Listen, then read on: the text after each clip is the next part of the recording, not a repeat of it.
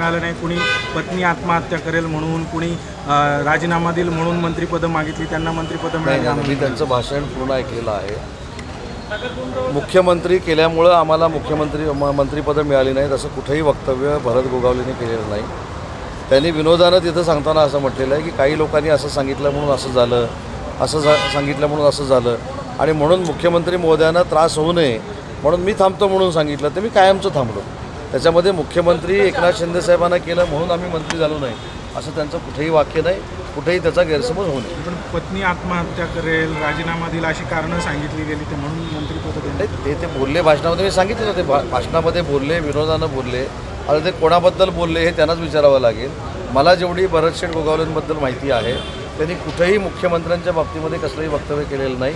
परंतु त्यांना मंत्रिपदाची जर कमिटमेंट मुख्यमंत्र्यांनी केलेली असेल तर ती नक्की पूर्ण होईल.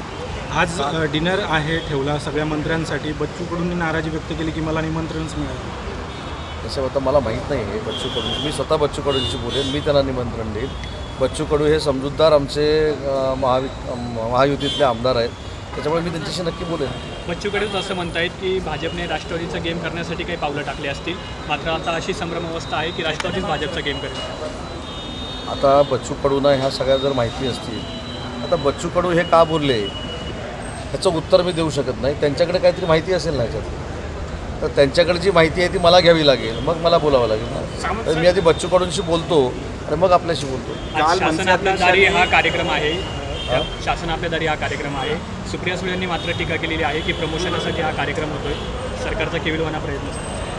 मला असं वाटतं कोणी जरी टीका केली तरी आम्ही जनतेशी प्रामाणिक आहोत शेतकऱ्यांशी प्रामाणिक आहोत. एका एका जिल्ह्यामध्ये दीड दीड लाख लोकांना लाभार्थ्यांना आम्ही लाभ दिलेला आहे.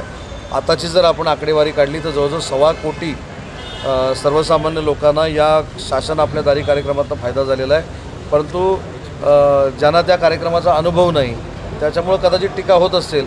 पण टीका हो झाली म्हणून तो काही कार्यक्रम थांबणार आहे अशातला भाग नाही. आहे त्याच्यापेक्षा जोरदार कार्यक्रम करू. राज ठाकरेंनी काल मुंबई गोवा महामार्गावरून टीका